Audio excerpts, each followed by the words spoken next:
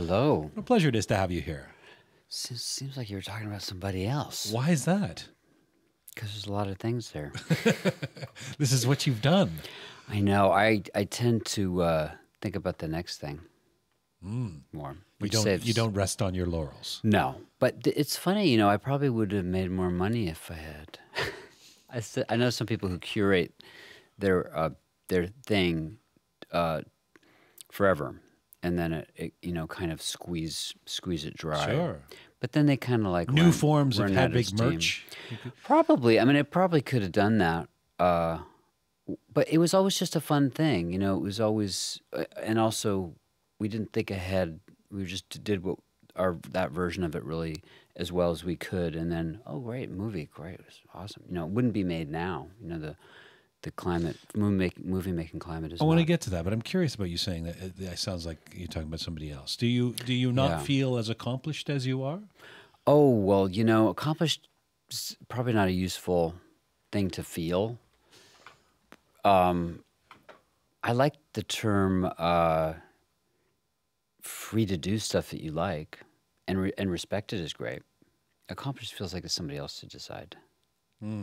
I was asked for But- my but- papers to be, if I wanted my papers archived at a university, and I was like. I don't know Already? if I have any papers. I have, you know, because I was Like the a president. Exactly. And I was like, what is that? I was like, it's flattering, you know, but you know, I'm the first generation of people where all their writing was on computer because I actually went to college in 81 and we had the Apple II. So I really started on a computer, which uh, way back. So uh, it's kind of funny to think of that. But I guess they say those digital formats are uh, collapsing. You know, like they may not last the way actually celluloid and even tape can last. So uh, and paper. So it's kind of like weird. I know Full I feel circle. old. Well, does I was going to ask you if, if accomplished, if that word makes Yeah. you, makes you feel old. Makes me feel uncomfortable. I'm my mom's Scottish. You know, you don't talk about too many fancy things because then you're like, oh, you're getting ahead of yourself. I you a huge head and all that. Yeah, so I don't like to talk about that. But I feel good. I feel proud of this production uh, on Broadway, which I was more of a, a Godfather. You know, I didn't direct it, but I was kind of in there. It's weird. The production is a revival, and and it won the one of the four Tony Awards. Hedwig won was for best musical revival. I mean, this is a category uh, that recently named Porgy and Bess, Anything Goes, Pippin as its I'll winners. take it. How do you feel about Hedwig joining a list like that? I feel classic. Um, it's funny because we were always the you know the dirty underdog uh, when we first came out, and the theater community was sort of afraid of us. The non-theater community came rushed in and loved it, uh, but the regular folks were there, there'd be many shows where there'd be silence, you know, and and you know confused silence, uh, which is where I was imagining the film because I imagine the film was more Hedwig in, in weird. Uh, uh, restaurants and things where people aren't sure why she's there. Uh, so there's something cool about being a stealth classic, and for some people, you know, and it's still a small minority. Uh, but you know, it's a new musical on Broadway, but they have a, a they came up with a rule when Little Shop of Horrors came in 15 years after they first opened off Broadway, and they were like, well, you can't win those awards, you know, because we got new shows, and it's a money game with the Tonys, you know, because a lot of the people voting are presenting it on tour. So they want to have the Tonys so that they'll sell in Peoria. Did your mother teach you this too? Down, Scott- downplay It's the all no. She taught me the business too. She's like, don't spend anything you ain't got, right, right, right. and just get on with it. But did you 16 years ago? And admittedly, it was a, it was much more of a curiosity and and, and controversial and not necessarily um, acclaimed when it first uh, came out as a play. Did you imagine that um, Hedwig would resonate this way a decade and a half later? I imagine I saw things changing. Um, I knew why. The thing is, we actually were critically hailed. We were never a big hit, though. We just kind of hung on, you know, like a chronic cough or something, and for two years. And you could do that then. Off Broadway is different now. Um, and then the film was a fluke because the guy who ran New Line Cinema had directed me in a film in the '80s, and there was an affection, and there was a kind of like it doesn't really happen anymore that one guy built a studio and and said, "I'm going to make a film with you," you know, like Louis B. DeMiller's or something like that. It doesn't happen anymore. It's a it's a uh, metric, right? How many can you sell? Foreign rights, da da da. You know, all of that. Can't have too many uh, Americanisms if you're going to have a big budget because China won't get it. You know, it's all very businessy. So, like I said, the film wouldn't have been made now. Um, so there were things that were good about then, uh, even though the transgender stuff was radical and the punk rock on, in theater was radical. Um, since then, Broadway has had American Idiot and this and that, which, you know, eased eased the way for us on Broadway, and trans, you know, and drag uh, is not is everywhere. Let me explore that. First of all, um, I'm just looking at the stat. Last week, Hedwig grossed over one million dollars at the box office. which is crazy. Last week. and that's only with seven shows instead of the usual eight, and that's Neil. You know what that is? What? Accomplished. No, that's the wrong word. That is a hit. It is a hit. There's no doubt about that. How Which I never had. How provocative was it in the beginning? I mean, let me just uh, for for any audience members who don't know the, the the original play or the film or haven't seen the Broadway reincarnation, Hedwig is about uh, about an East German singer retelling the story of her life, including the botched sex change operation that left her with an angry inch. Right, and she was a boy who didn't really want a sex change, Right. or, or had no problems with gender or sexuality. I mean, somewhat provocative by today's standards for Broadway. How, how how cutting edge, if you use that term, was it when you originally performed it off Broadway in 1998? Well, it was unusual for an off Broadway show, but you know, in the 60s, anything went in New York, so it's not in the 70s. You know, it wasn't that radical. In fact, the structure is quite linear in Broadway. You know, we got the a 11. musical, yeah. Yeah, we got the 11 o'clock number, the opening number. It's tr- quite traditional in terms of form. Uh, it's in the form of a rock concert, though. She's telling her story. Uh, what was unusual was some of the content. But, uh, you know, compared to Short Bus, my next film, it feels very warm and fuzzy and grandma, you know? It's, so it's like, you know, it's always uh, Did relative. Feel, John, did it feel like Hedwig was ahead of its time? I mean, did you have a sense that the world was going to catch up to Hedwig somehow? Yeah, I mean, some things I knew were going to get better. you know, other things, ugh, you know. Mm. Uh, strangely, uh, What are the other things? you know, the environment, the economies of the world. You know, it's like this is the first generation where young people have been finally told uh, that things are maybe not going to get better. Some things are getting better.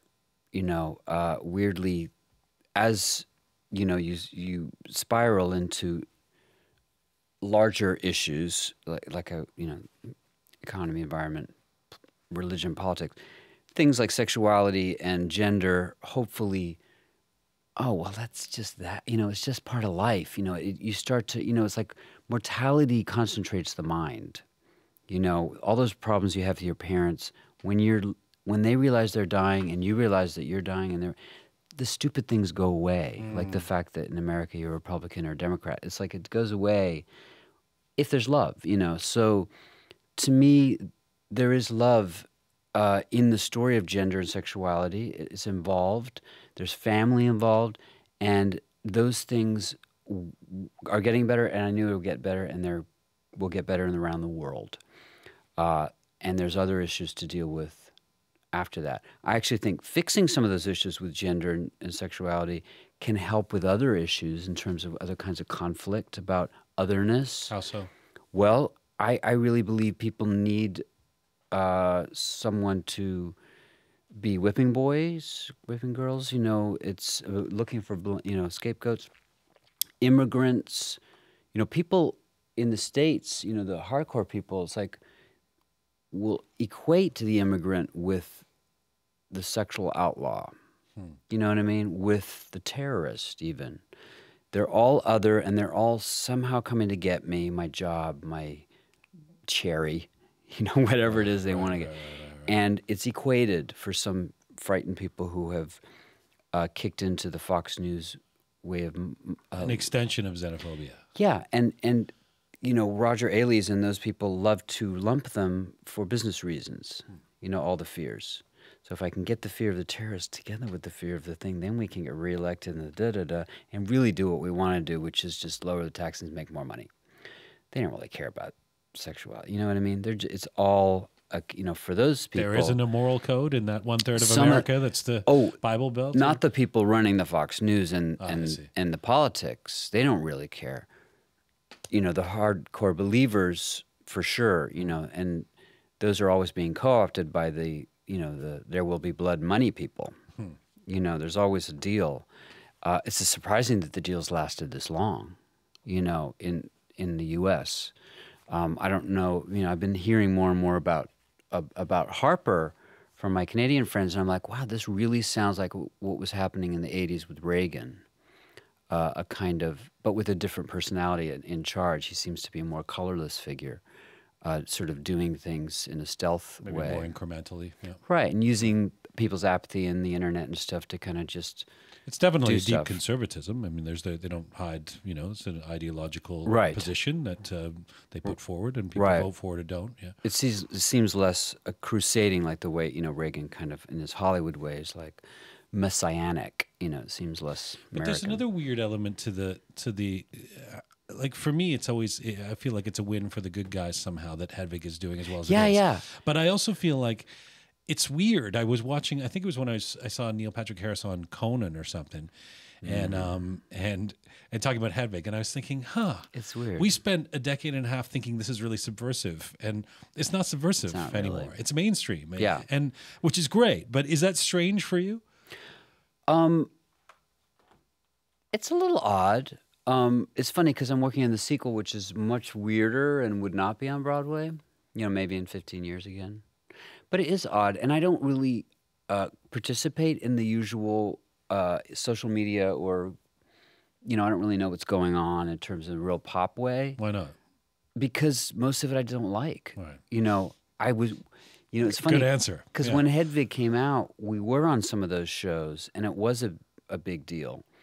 Um, and we, people had to fight for us, and others were uncomfortable with us there. Like, for example, Rosie O'Donnell and Bill Maher really loved us, and she had to fight the studio to get a, a drag character on a daytime television show. But she was like, "We got a drag queen throwing a chair on Jerry Springer, and you want a drag queen singing about love." It's like, mm. she was cool. She was like, "Come on in," and uh, gave us a set. And then David Letterman, they, you know, there was a whole voice from the booth saying, "Don't remove the wig during the song." I was like, "Who are you, and what do you mean?" it's like, "Don't remove the wig during the song." So I removed the wig, wig after the song, and they cut it out because they wanted, they didn't want people to get letters and saying, "What do you got a drag queen on the show?" And Letterman didn't really shake my hand after that and everything. It's like, I don't know if that that was him or just the producers, but it was, it was uh, mean, it's remarkable. We're just talking about a decade and a decade yeah, and a half that was ago, just right? like '98. Um, and then Conan O'Brien was totally cool, you know, or Bill Maher was singing the song on on his show. So it's like it was a, it was fun, to, but it's fun to be, you know, the uh, the unusual person. Uh, I also had been a mainstream actor up until then, so I knew different worlds, and I grew up in the army, so I was used to moving around in different kinds of worlds. You mentioned social media. I mean, you've also said a couple of times so far in this interview that you don't think Hedwig would have Hedwig would have been made, or The movie. uh, I see the play you would have you could have Yeah. done today. But uh, how how would the social media world have affected uh, Hedwig had it been just debuting now? I mean, that that's one thing that didn't exist sixteen Yeah. years ago.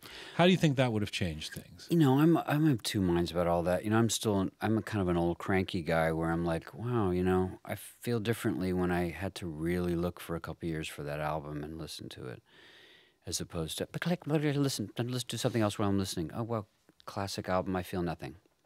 You know, so finding the show, making our flyers, sending them in the mail, uh, curating our audience, slowly building an audience uh, from nothing because it was an unusual type of show, was fun. You know, and I was doing sitcoms and Broadway shows and TV shows, MacGyver's, between doing Hedwig.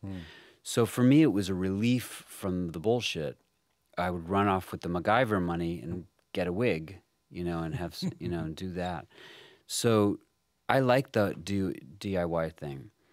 You could say there's digital DIY too, but there's the overload of information. You know, the the uh, the white noise really does uh, compromise how you feel about what you're get what you're absorbing. You know, and how you absorb it. You half absorb it because you're doing two things, and I'm sure someone's doing something as they're listening to this.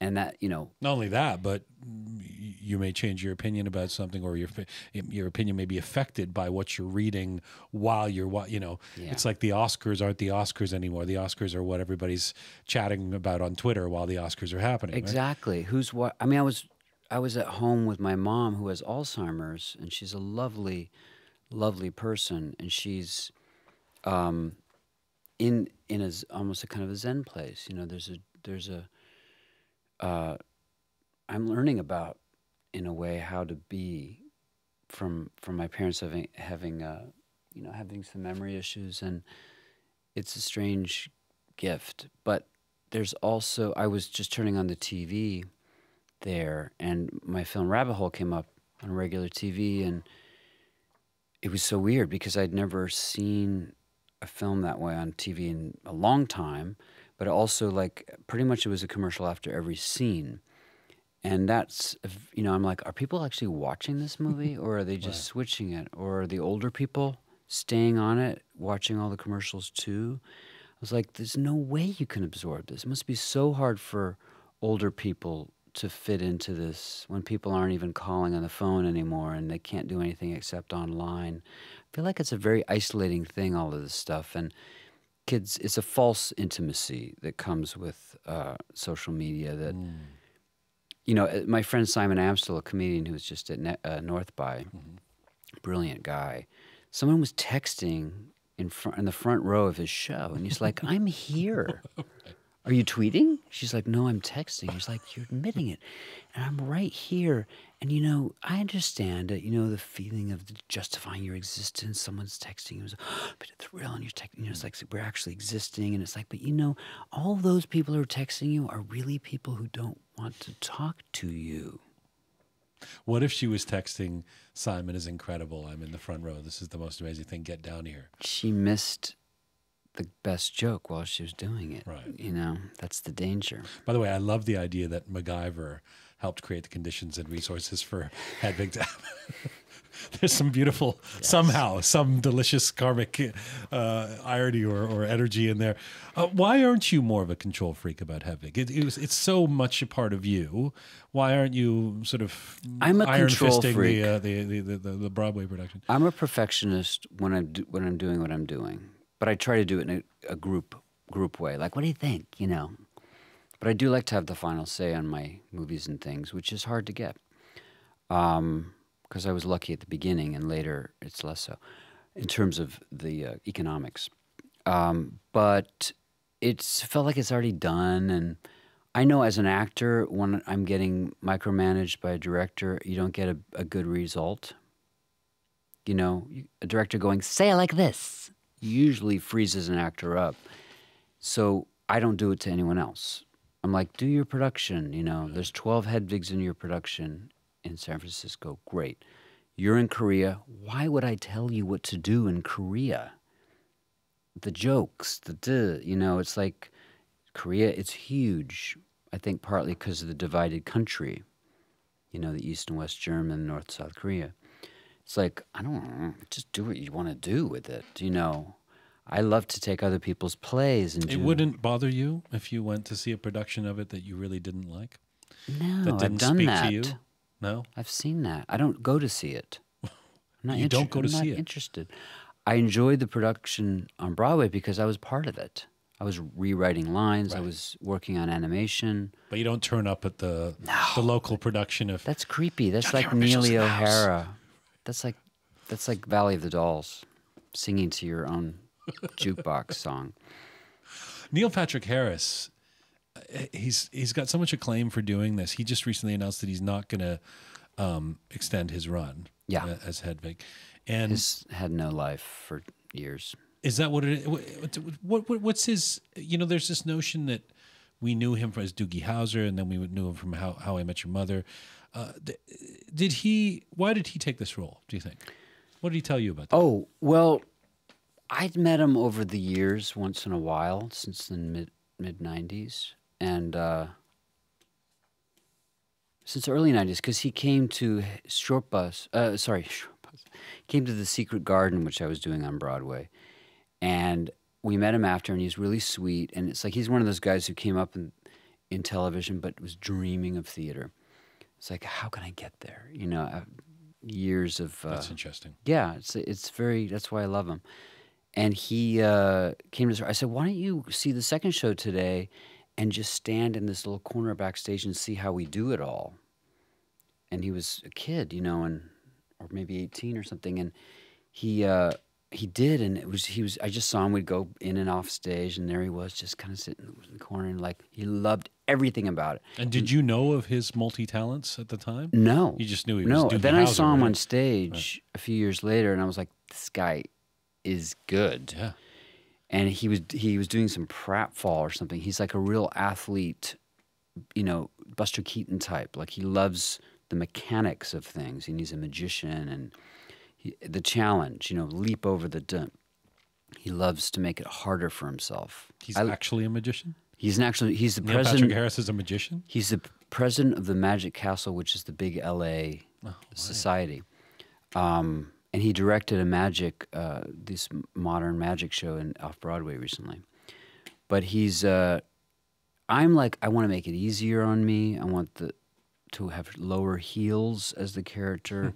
I don't want to have to shave. I'm just like, I'm more.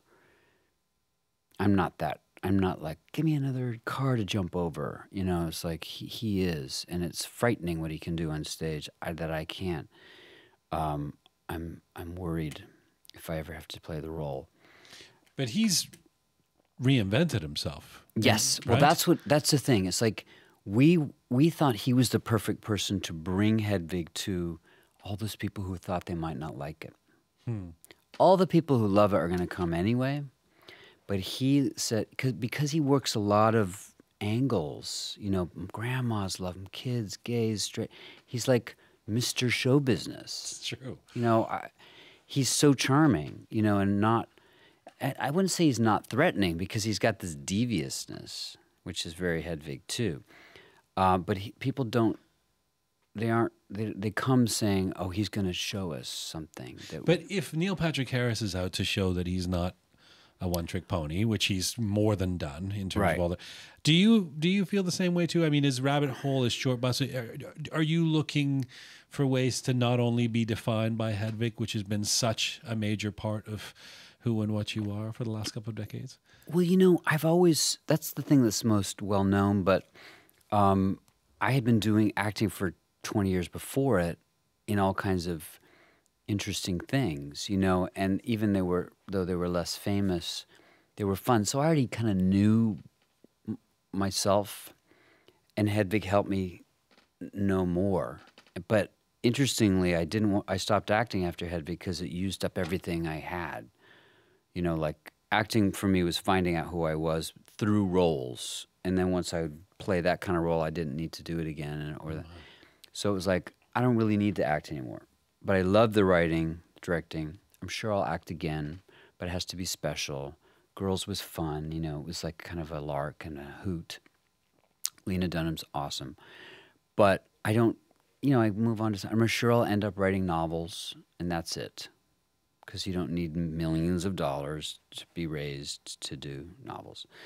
Um, I'd like to make an album. But Neil did want to challenge himself uh, also in terms of his masculinity. You know, growing up in Hollywood uh, and being closeted, there was a fear, there was like, oh God, you know, everyone is just judging you. And, and then when he came out, it was like, I have to, I'm sure he felt the pressure of having to be the the gay guy who was already in the system, um, and so his growing up when you're gay in that world, your masculinity is super important. And I remember when I was younger, I was kind of butcher, you know what I mean? Because I was always on guard as an actor. It's like I have to be able to play different roles, right? And and my dad was military, and you know you got to cover. It's the same if you're Jewish, I'm sure, and like trying to pass, you know, in the 50s, you know, or whatever, you know, and it's all the same. That's why all the humor from the different uh, groups makes sense. It's about passing and it's about exaggeration. Acceptance and Yeah, and, and Yeah, Jewish humor, black humor is different because you can't pass as usually as much. You know, it's a different thing. But it's like all I love all the different kinds of humor. So with Neil, it was like I need to challenge that. I need to be play a character who's challenged too, and I need to use. And so he was like he needed to be scared, and he was scared doing this, terrified in fact, and he triumphed. Hmm. You know, and he's set himself up as the king of Broadway. He can do anything, you know. And it's like he does the sketch comedy, you know, online, funny or die. It's like he can do anything, and he will, because unlike a lot of people in LA who get very lazy with their success, he just keeps trying more things. I talked about the the global conversation around gender and sexuality that's that's that's happening. It really does feel like it's an international conversation Yeah. from World Pride here to Pussy Riot in Moscow to you know what's happening in Africa, etc. Uh, uh, you said something really interesting. You said that Hedwig is more than a woman or a man. She's a gender of one, and that is accident- accidentally so beautiful. I, I wonder how political you feel Hedwig is today. I don't really feel it's interesting because there's a lot of you know discussion of trans uh, labels and and transphobia and confusions and uh, and it seems a little, as my Mexican friend said, first world problems. Um, but the you know labels are important, um, especially when you're young. You know, like I need to know who I, I need to say who I am. I am an you know Chinese Canadian. I am an American, African. You know, it's like people need that at first, and then you let go of them because you're really only you. But it's good at first because you feel tribal a little bit, and uh, I needed that, and that's what gay pride things were for me. I don't really need gay pride parade anymore, but some people, it's very important at a certain time. So for me, Hedwig was always a metaphor, and queer people, which covers you know trans, drag, gay, lesbian, bisexual, any any kind of thing under the queer umbrella, which usually means looking at the world through a, a prism of gender uh, and otherness, whether it's sexual or not. Everyone knows that there is a metaphor with Hedwig. She's forced into this operation. It's coerced. It's not a choice. She Hedwig doesn't speak for any trans community because she was, you know, mutilated. Um, and then, like, okay, this is what I have to work with, is the line. Someone says, What is that down there? It's what I have to work with. And everyone knows that moment where it's like, What is this? Oh, it's what I have to work with. Do I fit in here? And, uh, all right, I'm going to make the best of this. And then I'm going to trust someone and they're going to destroy me. And then I'm going to either die or I'm going to I'm going to absorb them and that experience and create something more whole. Now, the, me- the metaphor of the origin of love is that we were cut in half hmm. and we are seeking the other half, which is a sad way to think about love, you know, as incomplete, but everyone understands it. In Korea, they understand it. In Turkey, they understand it. And in Brazil, they understand that myth, even if they don't understand Christianity. Um, and it's so gratifying to get that common base of experience of like, it's Hedwig is not a trans voice, you know, she's not a gay voice. Gay was the least of her problem. You know what I mean? It's like, it's like it is the other. You know, I am not, I don't belong here on earth, in this country, in this planet, in this school, in this body. What do I do? Who am I? Everyone understands that. And interestingly, the sequel to Hedwig is all about I know who I am, and I have very little time left, Wow. I was which going is to ask you about the second sequel. half of your life. And you say that gets more strange. It's much more hallucinogenic. It's much darker. It's much more death, death, death, God, God, God. When do we expect to see that? I don't know. Is that informed by your parents? Yes, it's informed by being 51, you know, and seeing people die and uh, trying to understand it. And understand, having been brought up with a very specific Catholic view of God, uh, reinvestigating that from a non religious point of view and um, a metaphoric point of view, but still using the myth of the or- origin of love and extending the, the metaphor. By the way, uh, identity issues and, and transphobia, I don't think of that as in the category of first world problems I roll. I mean, I, I, I think first, No, world, first world problems are like my uh, Oh, no. computer's not working fast Uh, enough. You know, like no, like- it's really more. It's more like the label stuff. It's like cisgender, trans. You know, like all those things. For example, there's a, a female. There's a uh, in the U.S. a female only uh, music festival, and that was challenged by trans men, female to male, and they're like, oh right, because that's a new th- newer thing in terms of numbers of people. So these 60s based people who set it up are like, oh, okay, well, it should be for um, women, people who were had a girlhood. You know, they were biological. It's like, well, what about our trans female friends? And then they were like, th- th- their minds were exploding. You know what I mean? Because it was like they felt they needed that at a certain time, right? To feel safe. and there's an ever evolving lexicon too. right? Ultimately, the party should have everybody in it. Right. But that's their house. You know, it's not the same as job discrimination. How do you force someone to? Ha- it's like saying you have to have an abortion. You know, it's like there's a kind of like, oh God, those my Mexican friend says were first world problems because in the other world they're still like got to get the food and the job and the Right. and right. but then the survival. but then the trans person in that in that place is at risk much more in Mexico City. You know, so you're right. It's it's it's really I'm really enjoying talking to you. I wish we could do this for longer. You must come back. Certainly with the sequel, you better come back. Uh, I was going to go out on some music. Um, I mentioned this to uh, Hedwig and the Angry Inch sing along at uh, TIFF Lightbox. I was I thought we'd go out with something from the Hedwig film soundtrack. Now, I'm a sucker for Wicked Little Town. That's like my. I, I just think it's a beautiful pop song. Yes, it is. And and and with pathos. I mean, are you okay with that, or is there something? You, you- oh yeah, no, I like people saying it's good. I don't. If you said it was an accomplished song, I wouldn't like. That. No, it's an accomplished composer. Uh, such a pleasure. Thank you. You're welcome.